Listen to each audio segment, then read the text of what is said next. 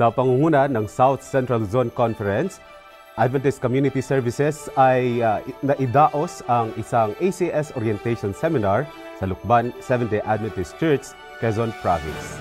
Ito ay dinaluhan ng apat na distrito sa teritoryo ng Quezon at Luisiana, Cavite area. Nagbabalik si Ina Sintos para sa report.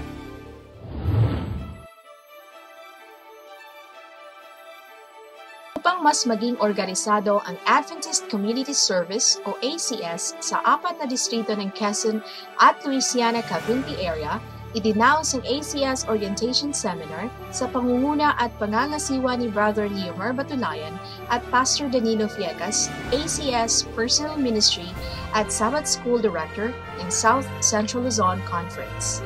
Nais nating ang ating mga uh, distrito ay mabuo rin ang kanilang uh, uh, ACS uh, organization at uh, hanggang sa pangprobinsya upang ang buong South Central ay magkaroon na ng uh, iisang uh, direktiba at isang direksyon ng paglilingkod sa community sa pamagitan ng ACS. Ang nasabing seminar na ginanap sa Lukban, Quezon noong February 15 to 16, 2020 ay dinaluhan ng 72 church elders, personal ministries leaders, Adventist men, youth emergency services, deacons, dorcas, district pastors at kanilang mga asawa.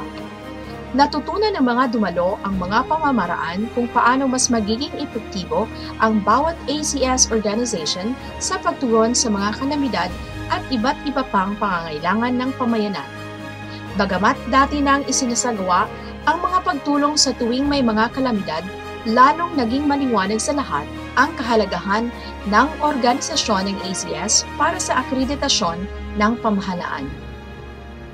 Naipaliwanag ng mabuti ni Coach Batulayan kung ano-anong mga programa ng gobyerno ang maaaring kasangkutan ng ACS para sa ibayo pang paglilingkod kagaya ng 4Ps at bloodletting.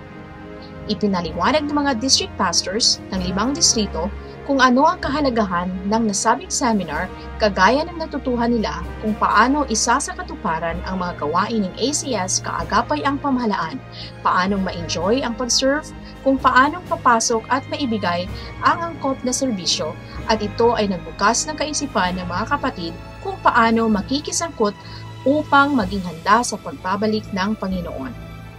Nagtapos ang seminar sa pamamagitan ng panibagong pagtatalaga ng mga dumalo sa gawain ng ACS.